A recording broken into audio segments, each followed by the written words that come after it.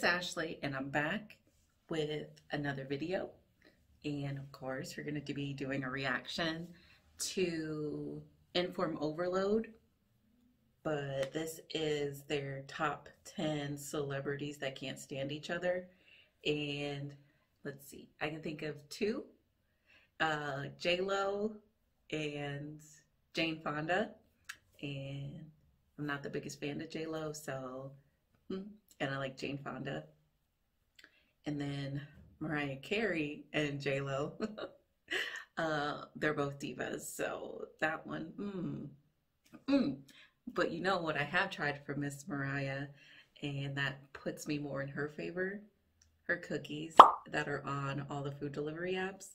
Before I started uh, trying to get uh, more serious about losing weight again, I ordered from Mariah's cookies. They're delicious. And I highly recommend them. I like the Heath, like the Heath candy bar. She has a Heath one that's delicious. There was a gingerbread one that was delicious. The chocolate chip. And I think there's like a macadamian white chocolate one.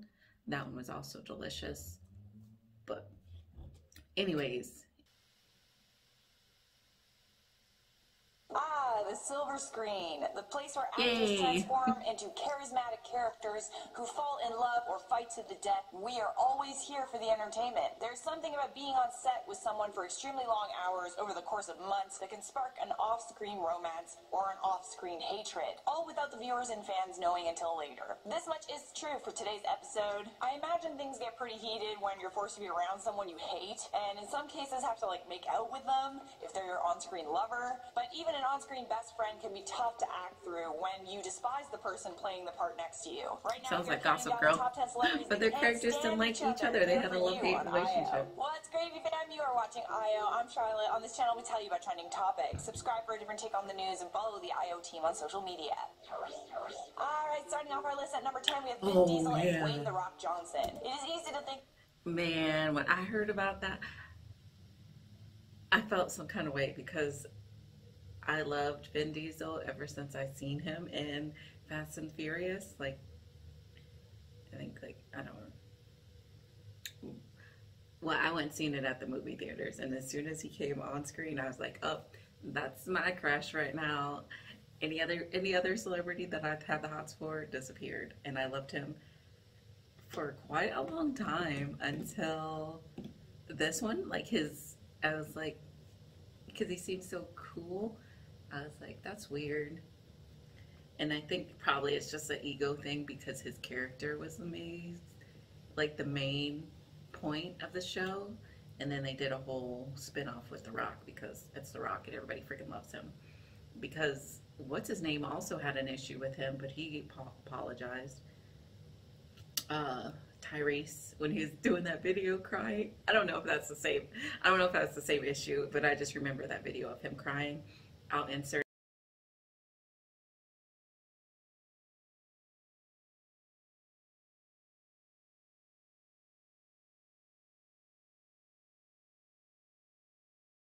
it. But yeah, I was like, why he got these grown men on here acting like this? Actors Vin Diesel and Dwayne Johnson are best friends. They're both talented actors and have amazing bodies. They're both bald. They're both bald with like stacked bodies. Mm-hmm. Their dispute began when they both starred on The Fast and the Furious. Things got so bad between them that they refused to share the same set during the filming of the movie. Apparently in 2016, Johnson decided to share with fans on Instagram his opinion about his co-stars. He claimed to enjoy working with all his female co-stars, referring to them as always amazing. But for his male co-stars, he had something else to say. He revealed that some of them do not comport themselves as valid men and true professionals. Later on in an interview with Rolling Stone, he disclosed that his comment was all about Vin Diesel, which is like so surprising. I thought The Rock was like friends with everybody, you know? Right? He's like this big, like happy teddy bear. It's like surprising to know that he could ever have a feud with anybody.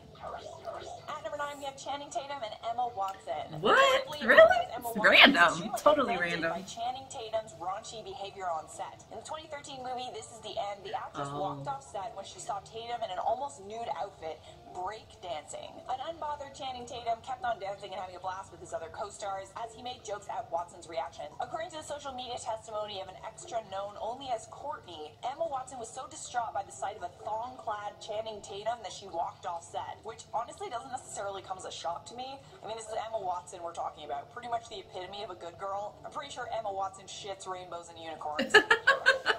Next up at number eight, we have Victoria Justice I didn't and think she'd be that uptight For fans of the about it, but you don't know her. You never It know. might come as a surprise to discover that Tori Huh. and Cat weren't actually best friends in real life. You might be surprised to find out that the two have allegedly been feuding for the past decade. Following Wow. the show's cancellation after four seasons, a social media feud between the two stars began with Grande tweeting, quote, Sweetheart, the only reason why Victorious ended is because one girl didn't want to do it. She chose to do a solo tour instead of a cast tour. If we had done a cast tour, Nickelodeon would have ordered another season of Victorious, while Sam and Cat filmed simultaneously, but she chose otherwise. I'm sick of this BS. End quote. Justice tweeted back saying, Some people would throw someone they consider a friend under the bus just to make themselves look good. Hashtag stop being a phony. Hashtag if only they knew.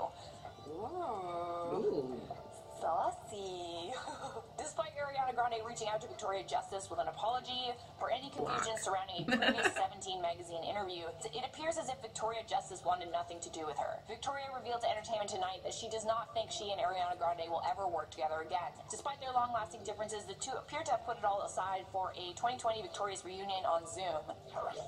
Coming in hot at number seven on this list, we have Shia LaBeouf and Tom Hardy. While shooting the 2012 mm. film Lawless. I'll pick Tom Shia Hardy, Tom especially Hardy after the shit Shia LaBeouf did. Cameras weren't rolling. The filmmaker also confirmed during a Reddit AMA several years ago that, quote, there was definitely a fight between them. It escalated to the point where they both had to be restrained. Tom Hardy confirmed the confrontation, saying that LaBeouf, in a moonshine-induced rage, knocked him out cold, which is something LaBeouf all but confirmed in a March 2018 Esquire profile. Meanwhile, Shia later cited the incident as nothing but part of their character's brotherly love.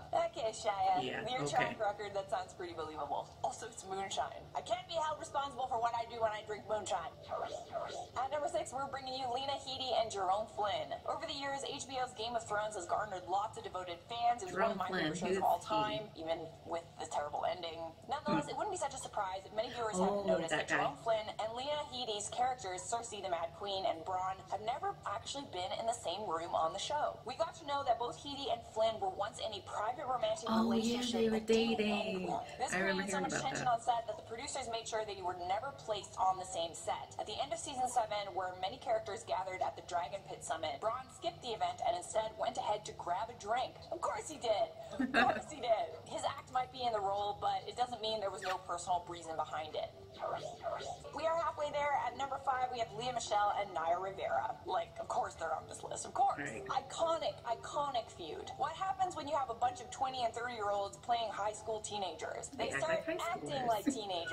Actually, I'm pretty sure Lea Michele is the, is the common denominator in all these problems. Mm-hmm. Yep. Anyways, we know that now. That sure was the case with Lea Michele and Naya Rivera on the set of Glee. Clearly, the two didn't get along, but apparently the drama resulted in a major altercation on set, in addition to rumors about Lea Michele and Chris Colfer plotting to get Naya Rivera and Darren Criss kicked off the show. Rivera stated that one of the Glee writers once said that Lea and her were like two sides of the same battery, and that about sums us up. She added, We are both strong willed and competitive, not just with each other, but with everyone, and that's not a good mixture. In the end, unfortunately, Lea Michele got exactly what she wanted, and Rivera was written out of the show. At number four, we have Freddie Prinze Jr. and Kiefer Sutherland. Freddie Prinze Jr. has been very vocal about his hmm. negative experience Wow. working alongside Kiefer Sutherland on the show 24. Jr. said, I quote, I did 24, it was terrible. I hated every moment of it. Kiefer was the most unprofessional dude in the world. that when not he's me drinking? talking trash, I'd say it to his face. I think that everyone that works with him has said that. I just wanted to quit the business after that, so I just sort of stopped. Funny thing is, they hadn't actually worked together for about five years, so like, why I start trash talking after? Kiefer Sutherland's representative gave a classy response, which said Kiefer worked with Freddie Prinze Jr. more than five years ago, and this is the first he's heard of Freddie's grievances. Kiefer enjoyed working with Freddie and wishes him the best. I Yeah, right. Great, and Prinze looked like a jealous whiner. I actually have a personal story about Kiefer Sutherland, like not personal to me, but uh, listen, okay. So Designated Survivor used to film in Toronto, and I had a boyfriend who was a grip on set. Apparently, when Kiefer Sutherland walked onto set, everyone had to stop talking. Kiefer did not want anyone speaking around him because that supposedly like broke his concentration.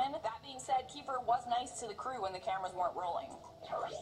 At number three, we have Shonda Rhimes and Katherine Heigl. Now, this one is a little different because Shonda Rhimes She wrote her ass off uh, that but the show. creator of the show, which in my opinion is like a way worse choice for a feud. Like you don't wanna, you don't wanna fuck with the creators or the writers or the directors. Like they're the reason why you're there. Okay. Heigl hasn't headlined many major films or television shows since her departure from Grey's Anatomy, and many suspect that it's due to falling out with Grey's creator Shonda Rhimes. When Heigl earned an Emmy nomination for her role as Izzy Stevens in 2008, the actress actually opted out because she wasn't given enough quality material to even be considered for an Emmy. She said in a statement, Okay. I did not want to potentially take away an opportunity from an actress who was given such materials. Rhimes kept it professional, but the damage, yeah. Uh, uh. Even when Heigl publicly expressed a desire to revisit her role on the show, the showrunner coolly declined. In a 2014 interview with The Hollywood Reporter, Rhimes threw some serious shade. She said in an interview about her show Scandal, I quote, There are no Heigls in this situation. I don't put up with BS or nasty people. I don't have time for it. In 2015, creator Shonda Rhimes confessed to killing off characters on her show because she didn't like them. And Heigl actually wasn't the only one that had an ugly ending. Several of the other actors also got killed off, so take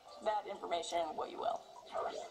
At number two on this list, we have Blake Lively and Leighton Meester, and honestly, this one hurts a little. It does. Sorry, Gossip Girl fans, your favorite Upper East Siders aren't I knew really that, as close though. as I they seem on the that show. Lively and Meester reportedly had a strained relationship behind the scenes, which sources attributed to long working days on set. One rumor is, is that the friendship ended when Lively didn't congratulate Meester on her engagement to Adam Brody. But we have a feeling that things weren't great long before that. One Gossip Girl source spelled out the actresses' issues with each other plainly. They said, Leighton thinks Blaine is an egomaniac who views her time on the TV set as slumming, and Blake feels stifled. She's just ignoring her co-star because she knows bigger things are in store.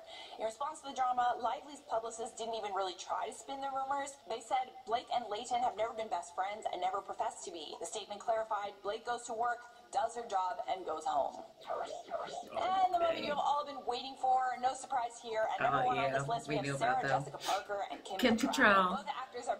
Both actors are best friends on Sex and the City, but they are far from being friends in real life. According to Cattrall, Parker never really liked her, and she doesn't know why. She revealed that she found Parker's behavior just be toxic like as she stalled production with her diva Rumors also claim that Cattrall became upset when she learned that Parker earned more than her co-stars. The bad relationship between both actors delayed production when the Sex and the City movie was being filmed. Parker offered Cattrall sympathy for the loss of Cattrall's brother, and she replied harshly. Cattrall posted on Instagram, I don't need your love or support at this tragic time. She claimed the only reason why Sarah Jessica Parker gave her condolences was for attention and to amplify her nice girl persona further. Years later, talk of a third Sex and the City movie being in the works were shut down when rumors about Cattrall being a diva started circulating, which is interesting because first it was Sarah Jessica Parker being a diva. Hmm. Hollywood gossip insinuated that the film wouldn't happen because she was holding up negotiations with her demands. Cattrall took personal offense to the rumors and fired back by throwing some shade in Sarah Jessica Parker's way. She said, I quote, This is where I take to task the people from Sex and the City, and specifically Sarah Jessica Parker. I really think that she could have been nicer. I don't know what her issue is. I never have. Selfie! Which is just too bad because, like, it's one of the best shows of all time. Like, it, like especially for All time. women, Sex and the City was just goals. It sucks It's to find out that they weren't as good friends as they appear to be on the show. But anyways, I digress. Anyways, guys, I'm just gonna quickly wrap this one up with some comment features. All right, so feuds. Do you know about any of these? I knew about quite a few of them. Some of them were surprising, uh, but mm, not too, not too surprising, really. Like, but the uh, Emma Watson one, I thought that one was weird because I seen, I feel like she's like she'd be more fun or she wouldn't have an issue with seeing parts of a guy's body like that. I don't want to try and like shame her or anything, but I just find that weird and I don't really would I don't really think that would be considered a feud. She just walked off the set because she felt uncomfortable. But anyways, what do you guys think? Which feud did you already know about? Um, the Gossip Girl one. When I was at the height of Gossip Girl uh, obsession, I already kind of heard rumblings that they didn't like each other. So that I'm not surprised by. Their characters on the show were like those we're friends but we're not really friends, frenemies. So yeah, that vibe came off in their characters anyway. But if you enjoyed the video, don't forget forget to leave a like, uh, drop a comment and your opinions below. Um, subscribe, hit the notification bell, and I will see you in the next video.